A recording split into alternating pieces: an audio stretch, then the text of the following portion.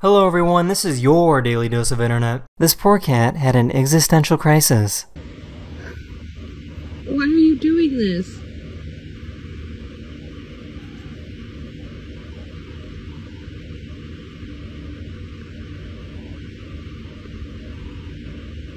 She had no idea that this hawk landed inside of her house.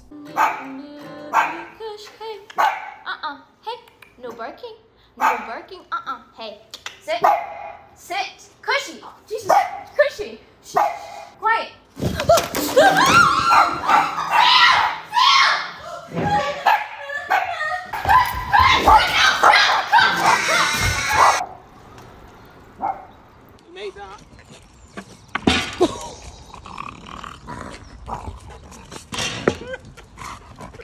Don't worry, the little guy's okay.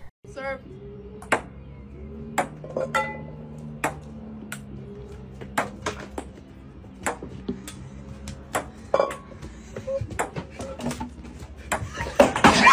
This plane was delayed for 18 hours, so all the passengers gave up except this one guy who ended up getting the entire plane to himself. Loaded all the bags on the plane. How many how many bags do you have to load today, bro? Total of one.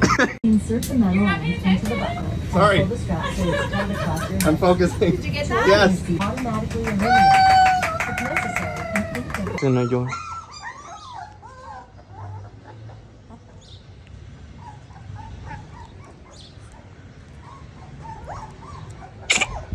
Now keep in mind that this delivery guy is only dropping off $20 worth of food. Next. There you go. Thank you. You're welcome. Um, I just want to say it's a nice house for a five dollar tip. You're welcome. Thank you.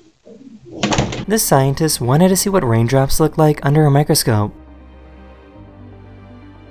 He found some pollen from trees, some bacteria swimming around in circles, and some very very small pieces of plants.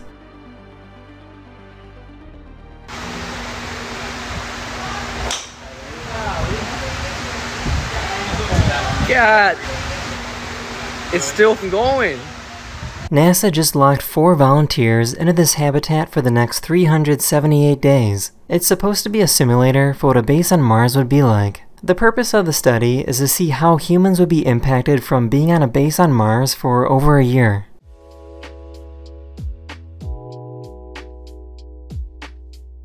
I'm mowing my lawn, right? All of a sudden, I start seeing this popping out, and I'm like, no, no. And then I start hearing squeaking, and I start seeing the floor moving.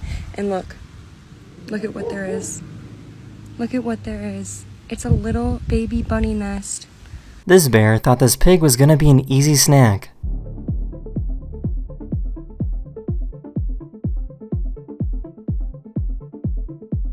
I think this cat is broken.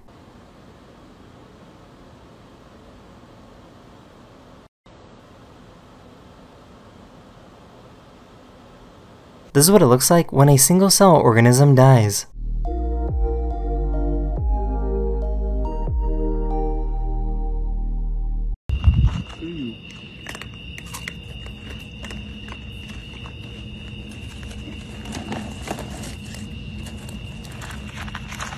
That is the end of this video. Hopefully have a beautiful rest of your day, and I'll see you guys again very, very soon. Later.